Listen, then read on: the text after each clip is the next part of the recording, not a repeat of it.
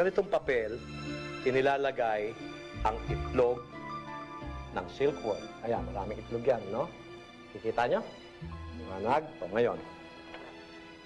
Yan mga yan, dapat yan ay ibinabalot mo. Para bang yung nasa ovary ng ating mga ina, yung sinapupunan. Di ba?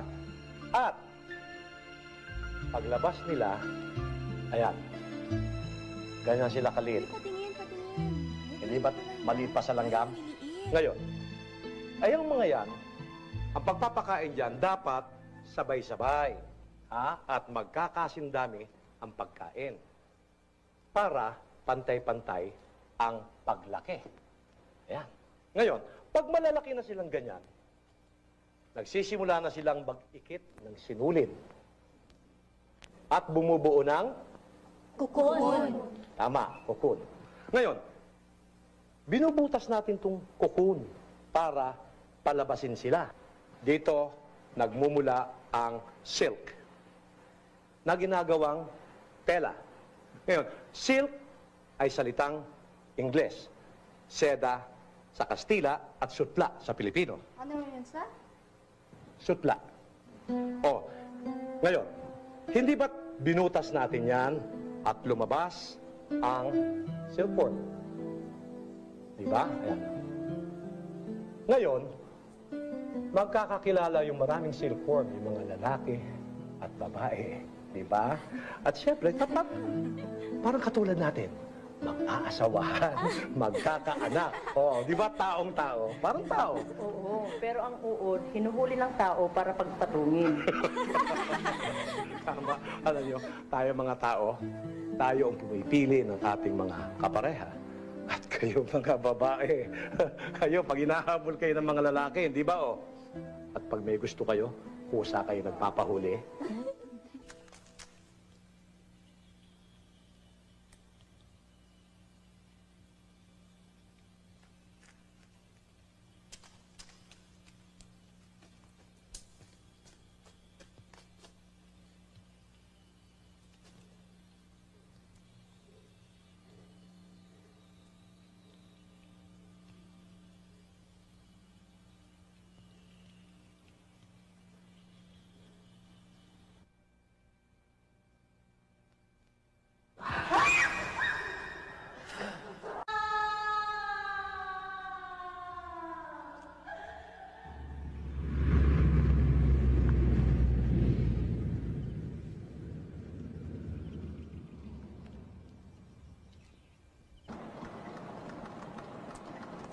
Sutla, kanina ka pa hinaharap ng tatay mo.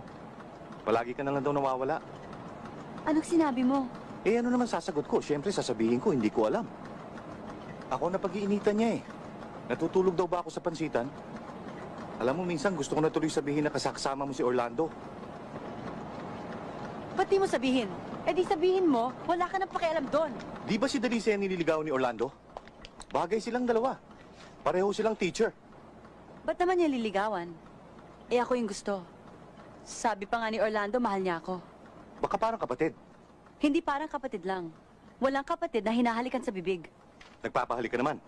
Siyempre, mahal ko. Bahala ka na nga sa buhay mo. Bahala talaga ako sa buhay ko. Wala kang pakialam. Buhay ko to, wag mo akong pakialaman.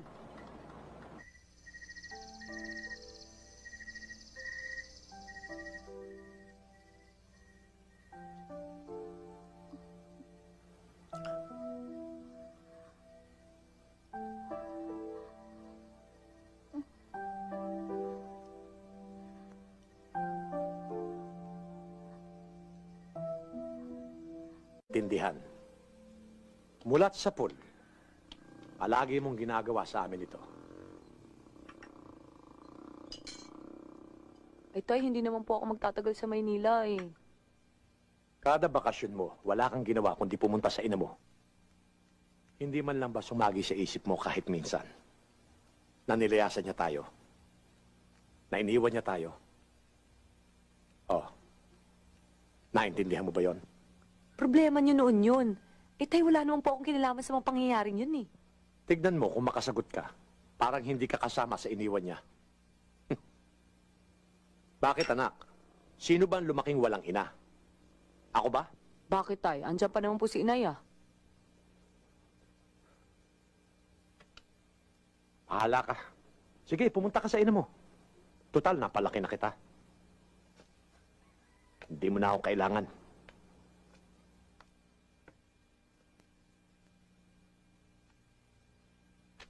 Talaga.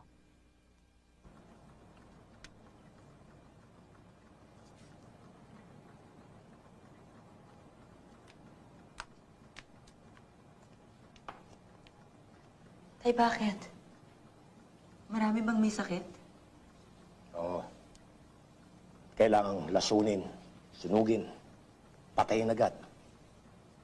Kinakailangang malinis ang paligid para mamatay kagad ang mikrobyo. Ba't ganun? Anumang husay ng pag-aalaga mo sa mga uod, may lumilitaw pa rin masamang uod. Na kailangang patayin kagad para hindi mahawa ang iba.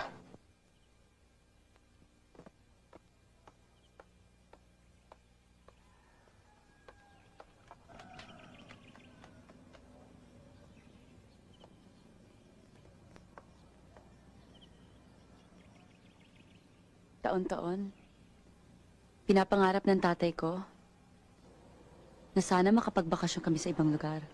Pero ni minsan di nangyari. Paano naman kasi si ate?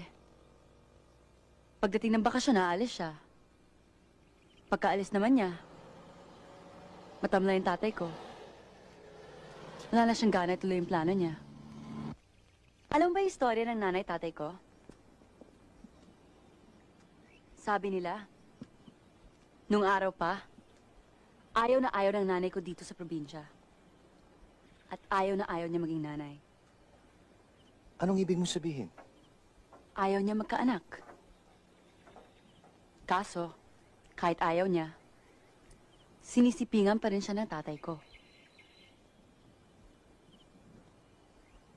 At nung pinagbubuntis niya ako, galit na galit na siya sa tatay ko. Wala pa ako isang taon, niniwan niya kami. Pagkatapos niya layasan ng tatay ko, wala pang anim na buwan. May kinakasama na siyang iba. Pagkatapos ng isang taon, may bago na naman siyang anak.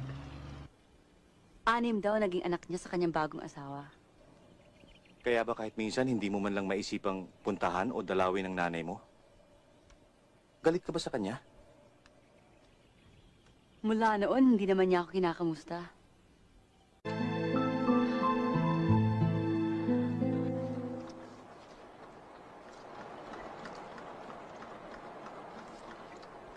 Paano mo gustong ilarawan ko ang pag-ibig? Eh, hindi naman na ilalarawan ng eksaktong mga salita. Pero malalaman mo, dahil pag kinapa mo ang puso mo, mag-iiba ang tibok nito. Magiging dagudug, dagudug, dagudug. Tsaka, gusto mong malaman kung umiibig sa'yo isang lalaki? Makikita mo sa kanyang mga mata. Dahil yung dagudog-dagudog na yan eh, nagbibigay suyo sa tingin ng isang lalaki. Teka muna, bakit ba nag-iisip ka na ng pag-ibig? Hindi ba dapat mauna sa yung ate mo? Wala naman po yun sa edad. Huwag mong sabihin yan. Tingnan mo itong mga uod. Sa tamang edad lang sila, nag-iikid ng sapot. Sapot na pambalabal sa kanilang minamahal para hindi ginawin. Dito nila ibinabahay at binabalot ng pagmamahal. Tatay, hindi mo naman ako pwedeng ihambing sa mga uod. Hanggat hindi mo naunawaan ang paghahambing, hindi ka handa sa pag-ibig. Be.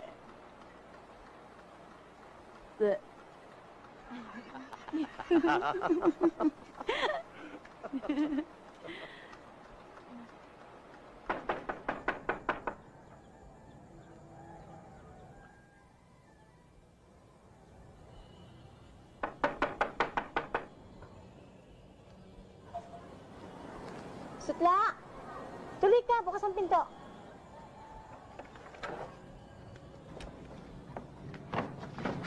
Bibing ka ho.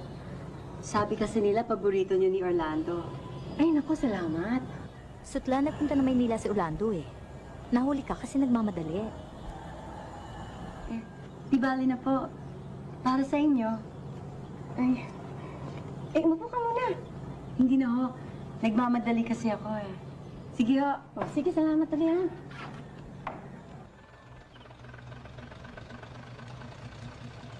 La! ano na? Kamusta na ate? Kamusta ang biyahe? Naku, nakakapagod ang Talaga? traffic-traffic. Lumang ba ako, pasalubong ako ate? sa inyo. Siyempre, at may balita ako sa'yo. Ano yun ate? Ang Orlando, akalain mo ba namang nahanap niya ang bahay ng inay? Talaga? Niyayapan niya ako lumabas. Mhm. Sumama naman ako. Nagkalapit na nga lalo ang loob namin sa isa't isa. Alam mo yan si Orlando? Sa tinagal-tagal din ng pagkakilala namin, parang... Parang ngayon lang talaga nahulog ang loob ko sa kanya. Parang ngayon lang dumating talaga siya sa buhay ko. Kaya nga pagdating na pagdating niya galing Maynila, magpapakasal kagad kami. Kaberong? Dalisay! Orlando?